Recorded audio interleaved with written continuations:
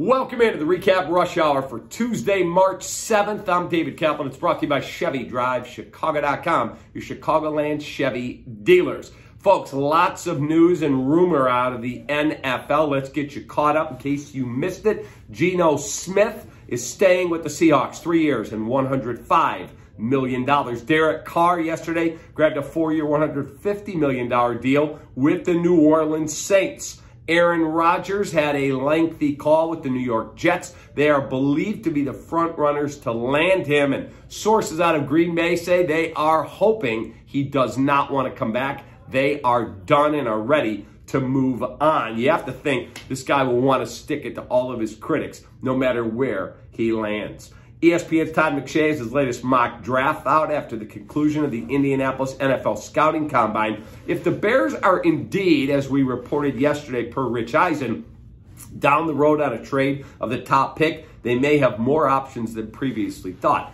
McShay has dropped Georgia defensive tackle Jalen Carter out of the top five. Would the Bears be able to trade farther down than previously thought and still grab a player they are thought to covet because he fits their scheme, at least talent wise, they covet him.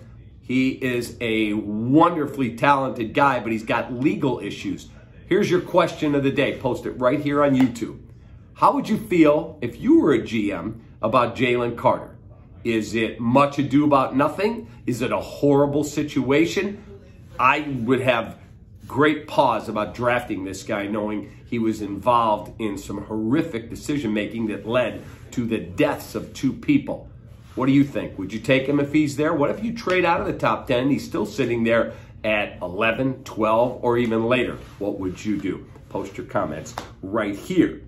Colorado police investigating Memphis Grizzlies star Ja Morant after an Instagram post over the weekend in which he was brandishing a gun. This is the second gun-related incident he's been involved in. He's now on an indefinite leave from the Grizzlies and has admitted in a social media post to making mistakes and hopefully getting his life back on track. And the Bulls are off until tomorrow night when they battle one of the best teams in the NBA, the Denver Nuggets, on the road in Colorado. And here's a question that we'll be asking today on ESPN 1000. I'm working the afternoon shift with Carmen DeFalco for our spring trading that is going on.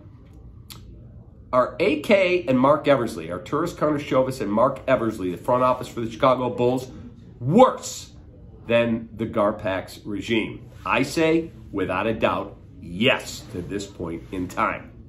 Have a great rest of your day. I appreciate you watching. Please hit that subscribe button and please help that YouTube algorithm by hitting the like button on this post.